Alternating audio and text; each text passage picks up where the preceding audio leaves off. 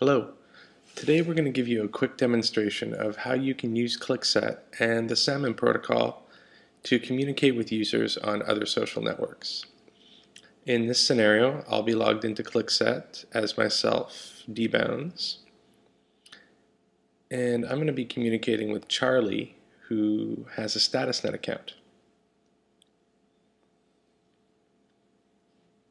And I'm going to invite Charlie to lunch. So we'll click the sharing dialog. And in this case, I don't want this to go to my followers. It's going to go to Charlie. So I'm going to type in at Charlie at charlie.status.net, which is where his StatusNet instance is hosted. You can see we resolved that to his name. We use WebFinger to discover his hCard in that case. And I'm going to type out a note here.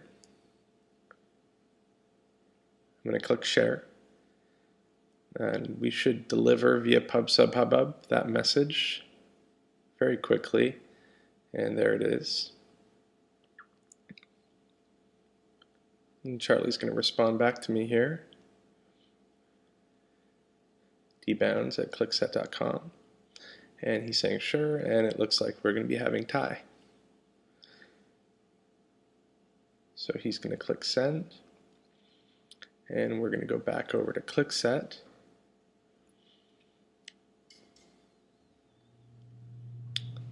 And there I have a notification, and it looks like it's from Charlie.